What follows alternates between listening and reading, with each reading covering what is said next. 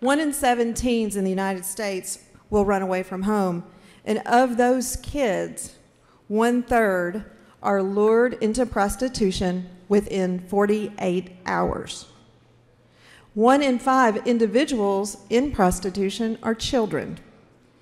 And 12 to 14 is the average age of entry into prostitution. Since 2008, the Kentucky Rescue and Restore Group, which is administered by Catholic Charities, have served 151 victims here in the Commonwealth. However, fewer than 20 of those cases have been prosecuted as human trafficking crimes.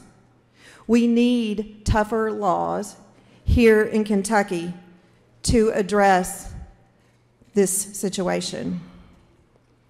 As many of you who were here last session will recall, uh, the gentleman from Christian 8, the lady from Boone 66, and I brought forth House Bill 350. And while it passed off the floor unanimously, the other chamber failed to pass the bill. The three of us spent this interim discussing how to make House Bill 350 better. What could we do? And so we scheduled a series of stakeholder meetings with every conceivable organization that could be impacted by the legislation. We spent months and we met with folks among those the AOC, DJJ, DCBS, the KSP, district judges, family court judges, prosecutors. All of those folks came to the table and helped us make previous House Bill 350 better, in my judgment, and is the piece of legislation that you have before you today is House Bill 3. Mr. Speaker, I'd like to just share um, two quick points.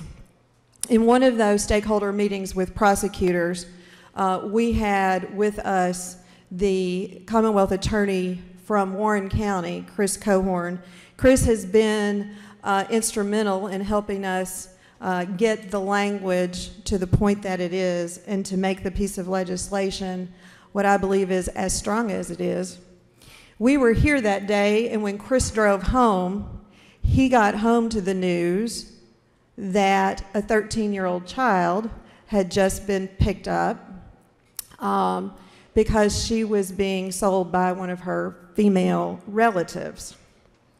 Chris doubled down on his efforts and became even more involved and more dedicated to making sure that this situation would not continue, gentlemen from Warren, in your community. On Wednesday, when we presented this bill to the House Judiciary Committee, the very same day that I was there, I was informed of a potential case of trafficking that had occurred in Bourbon County the day before. Uh, the details are still uh, emerging, and I've been asked not to um, go into that this morning. But for those of you who think that human trafficking is something that happens in big cities, that it happens in New York and Chicago and Los Angeles, it does. But the sad news that I'm here to report is that it's also going on in our backyards.